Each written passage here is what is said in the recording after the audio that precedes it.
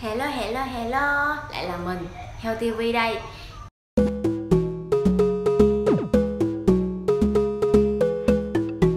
À, Cũng đã rất lâu rồi mình không ngồi xuống làm một video giải đáp những thắc mắc của mọi người à, Trong thời gian vừa qua kênh của mình nhận được rất nhiều câu hỏi về à, Đại học Văn Lang trường mà hiện tại mình đang theo học. À, cho nên hôm nay mình sẽ làm một video về vấn đề mà mọi người quan tâm nhất đó là các ngành ở Đại học Văn Lang như là ngành nào sẽ học ở cơ sở nào nhé. À, đầu tiên mình sẽ nói sơ về trường Đại học Văn Lang à, trường Đại học Văn Lang thì hiện tại có 3 cơ sở. Cơ sở 1 là nằm ở 45 Nguyễn Khắc Nhu phường Cô Giang quận 1 thành phố Hồ Chí Minh. Cơ sở 2 à, ờ, nằm ở 233A Phan Văn Trị phường 11 quận Bình Thạnh thành phố Hồ Chí Minh. Và cơ sở 3 là cơ sở mà mới được xây dựng gần nhất. Và đây cũng là cơ sở mà hiện đại nhất mới nhất. À, thật ra là mình đã nhận được rất nhiều câu hỏi tại sao ở cơ sở 3 khi search trên Google lại ra hai địa chỉ. Một thì ở quận Bình Thạnh và một là ở quận Gò Vấp. À, tại vì là cơ sở 3 rất là lớn cho nên là cổng trước nằm ở quận Bình Thạnh mà cổng sau thì lại nằm ở Gò Vấp. À, địa chỉ của cơ sở 3 đó là cổng ở cổng Bình Thạnh tức cổng trước là 69 68 Đặng Thùy Trâm phường 13 quận Bình Thạnh phố Hồ Chí Minh. Và cổng sau tức là cổng Gò Vấp là 60 68 Dương Quảng Hàm phường 5 quận Gò Vấp thành phố Hồ Chí Minh. Và ở Đại học Văn Lang cũng có ký túc xá à, ký túc xá của Đại học Văn Lang là nằm ở số 160 63A B Phan Huy Ích phường 12 quận Gò Vấp thành phố Hồ Chí Minh.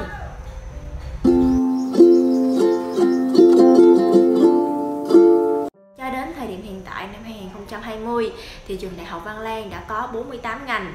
À, mỗi ngành sẽ được học ở những cơ sở khác nhau.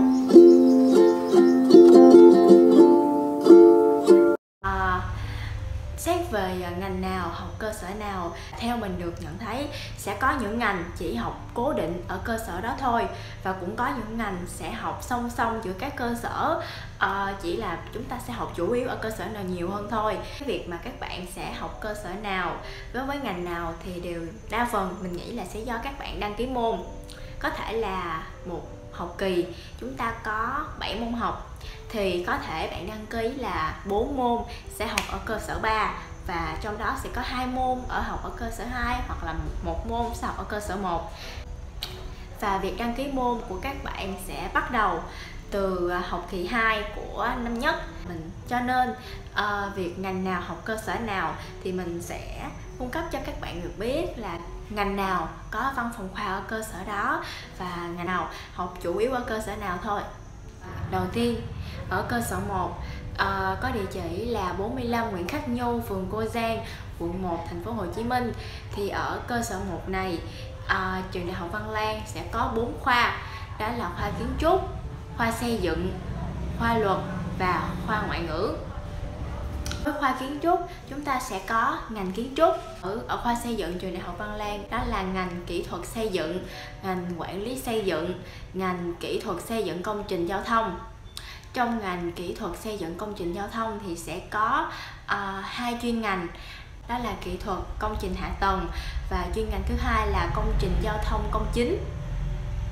Với uh, khoa luật chúng ta sẽ có ngành luật trong ngành luật sẽ có hai chuyên ngành đó là luật và luật kinh tế và cuối cùng là khoa ngoại ngữ khoa ngoại ngữ sẽ có ngành ngôn ngữ anh trong ngành ngôn ngữ anh sẽ có năm chuyên ngành đó là tiếng Anh thương mại, tiếng Anh sư phạm, tiếng Anh biên, phiên dịch, tiếng Anh hoa, thương mại, tiếng Anh du lịch. Theo là cơ sở 2. Cơ sở ờ, 2 nằm ở địa chỉ là 233 ờ, Phan Văn Trị, phường 11, quận Bình Thạnh, thành phố Hồ Chí Minh. Thì ờ, ở cơ sở 2 thì theo mình được biết là cơ sở 2 gần như là đã biến thành một trường để tập trung chủ yếu cho ngành y và dược cơ sở 2 có 3 khoa đó là khoa y khoa điều dưỡng và kỹ thuật y học và khoa dược ba ngành sẽ học chủ yếu ở cơ sở 2 đó là ngành kỹ thuật, xét nghiệm y học, ngành điều dưỡng và ngành dược học.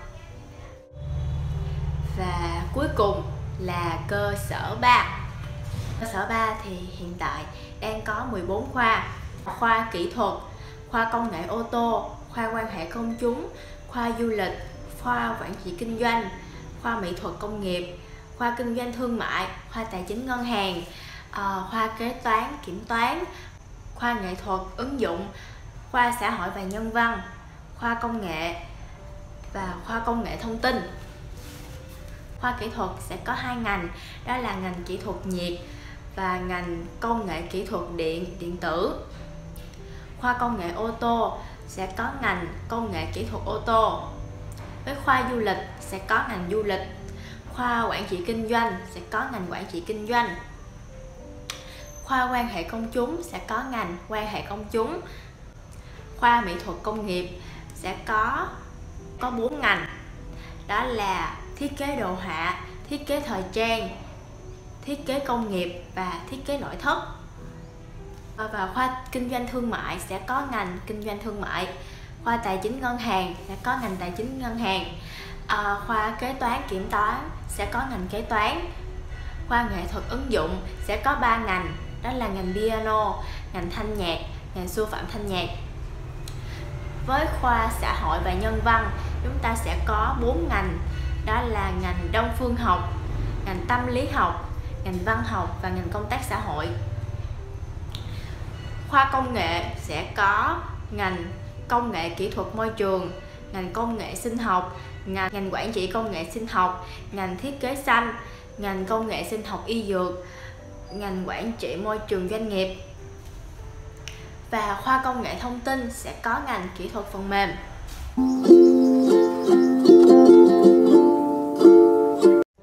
Và trong năm 2020 trường đại học Văn Lang đã có thêm rất nhiều ngành mới à, có thể kể đến là ngành đó là ngành sân khấu điện ảnh. Trong một cái khoa mới đó là khoa nghệ thuật sân khấu điện ảnh.